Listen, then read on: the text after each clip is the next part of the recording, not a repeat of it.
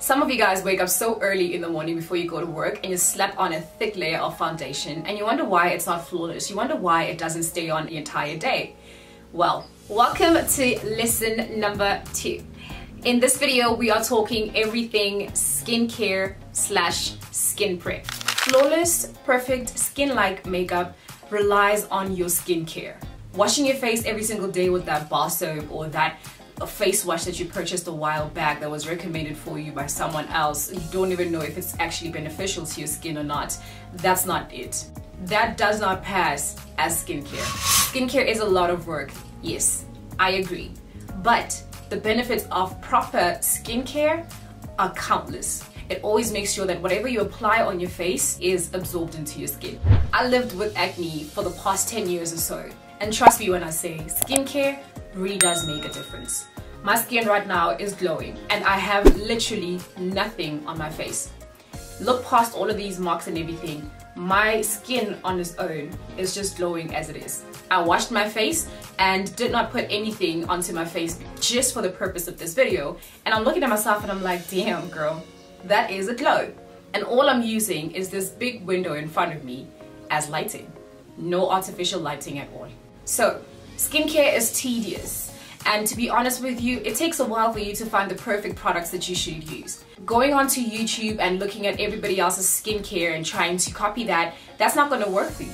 You really need to learn what type of skin you have. You need to listen to your skin, literally. Our skins absorb products differently. One product might actually work perfectly for me, but when it comes to you, it doesn't do that. It doesn't even have any effect on you at all. So I suggest before you spend a lot of money on makeup, start spending money on skincare.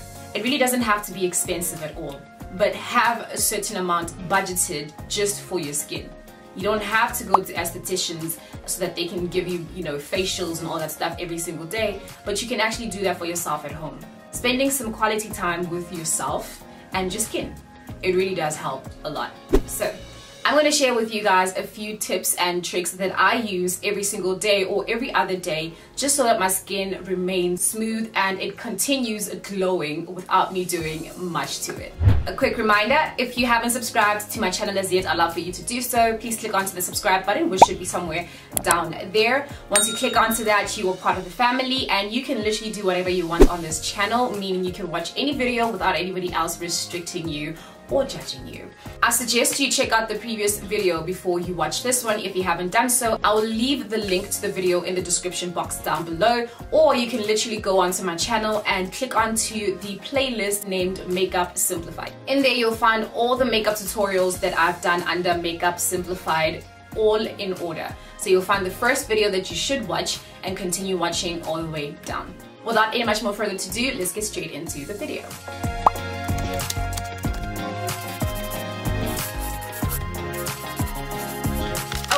So, like I mentioned, washing your face every single day with a face wash or a soap bar that you have isn't necessarily skincare. At a young age, that might have worked for you because your skin was still developing and all that stuff.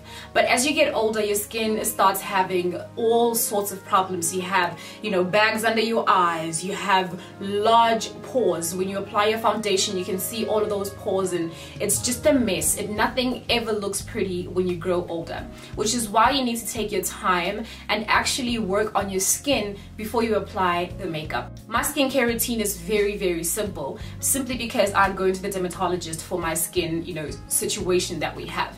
The first thing I do is wash my face with a cleanser. Now you need to find a cleanser that works perfectly for you. First things first, you need to understand your skin or at least know what your skin problem is. Some people have dry skin, some people have oily skin, some people have combination to oily skin if you have oils popping up maybe around this area every day so just up here and then your nose which is called your T-zone then you have what we call combination skin. You don't have oily skin. It's combination skin but if you find yourself oiling up around these areas, up on your forehead, as well as, you know, your T-zone, then you have what we call oily skin. And that's exactly what I have. I literally oil up over here and it's the weirdest thing that could ever happen to you. If you have dry skin, you just literally experience no oils, none whatsoever.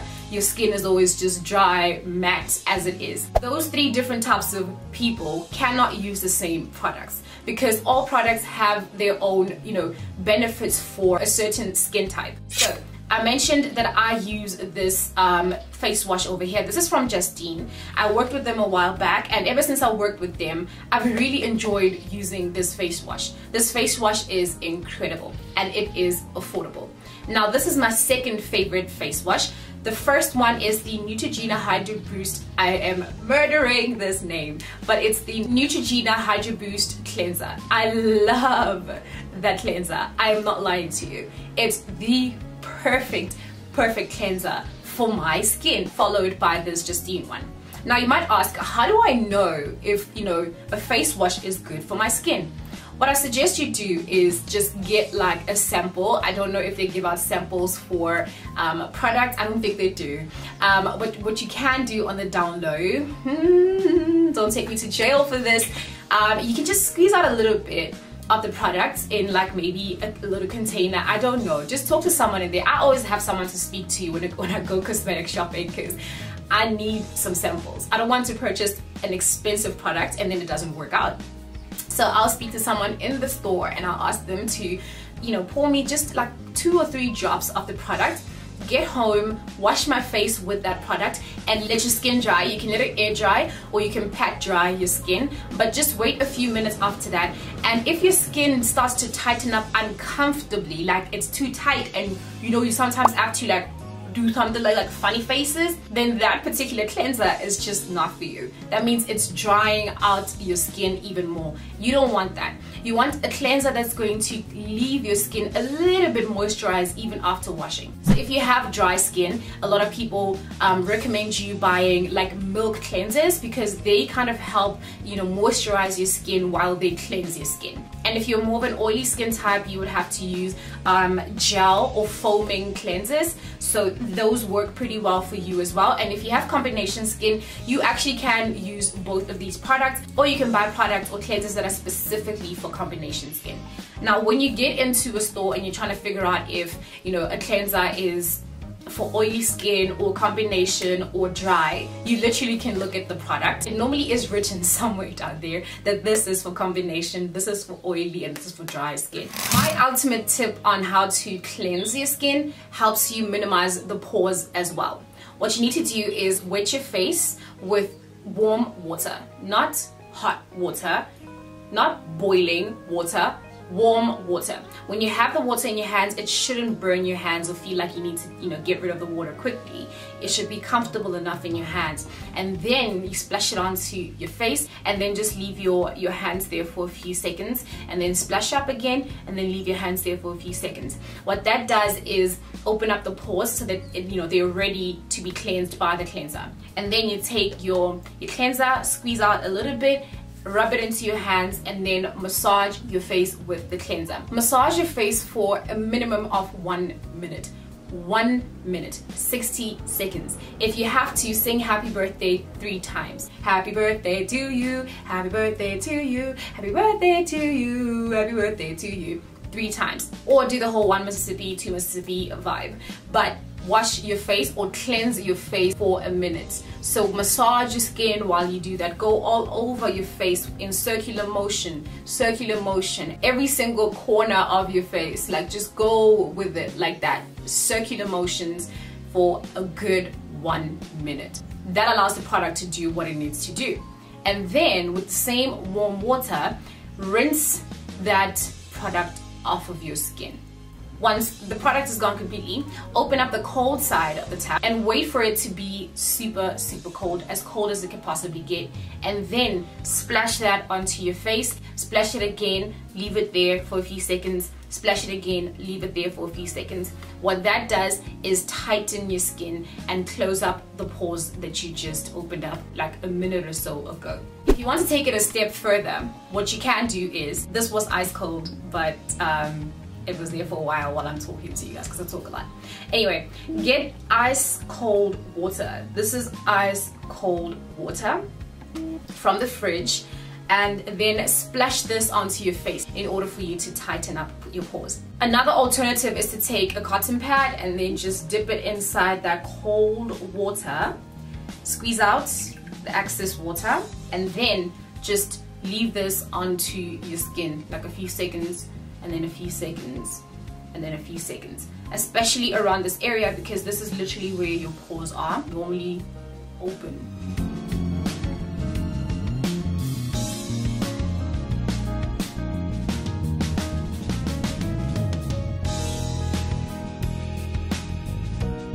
You can repeat this step two times, three times, or as much as you want to. Allow your skin to air dry or pat dry your skin. Don't drag the towel over your skin like that. No. Pat dry. Literally do something like this. This is what pat drying means. Not dragging it up and all that stuff. Don't do that to your skin. Really, don't. Once your skin is nice and dry, it is ready to absorb some products. If you can afford a serum, then great. This is the perfect time for you to apply your serum. If you can't afford a serum, then you can go straight to your moisturizer. Moisturizers are also as important as the cleansers because you need to get the perfect or the right moisturizer for your skin type. If you have oily skin, gel moisturizers are perfect. Neutrogena has that water gel moisturizer that works perfectly for oily skin. If your skin is dry, you need cream moisturizers. Moisturizers that are nice and thick and have enough oils to, you know, leave your skin moisturized. If you have combination skin, you'd want to go for those um, watery cream type of products. I wish I had something to show you. I don't. It's still a cream, but it's not thick. I normally go in with my prescribed medicated cream before I apply anything else. So I'm gonna do that right now.